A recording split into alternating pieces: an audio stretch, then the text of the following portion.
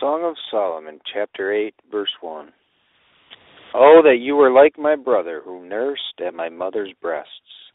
If I should find you outside, I would kiss you. I would not be despised. I would lead you and bring you into the house of my mother. She, who used to instruct me, I would cause you to drink of spiced wine, of the juice of my pomegranate. To the daughters of Jerusalem. His left hand is under my head, and his right hand embraces me. I charge you, O daughters of Jerusalem, do not stir up nor awaken love until it pleases. A relative. Who is this coming up from the wilderness, leaning upon her beloved? I awakened you under the apple tree. There your mother brought you forth. There she who bore you brought you forth the Shulamite to her beloved. Set me as a seal upon your heart, as a seal upon your arm. For love is as strong as death, jealousy as cruel as the grave. Its flames are flames of fire, a most vehement flame. Many waters cannot quench love, nor can the floods drown it. A man would give for love all the wealth of his house, it would be utterly despised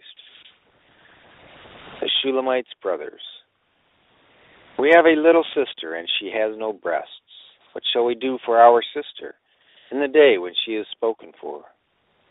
If she is a wall, we will build upon her a battlement of silver. If she is a door, we will enclose her with boards of cedar. The Shulamite. I am a wall, and my breasts like towers and I became in his eyes as one who found peace. Solomon had a vineyard at Baal Hamon. He leased the vineyards to keepers. Every one was to bring for its fruit a thousand silver coins. To Solomon, My own vineyard is before me. You, O Solomon, may have a thousand, and those who tend its fruit two hundred.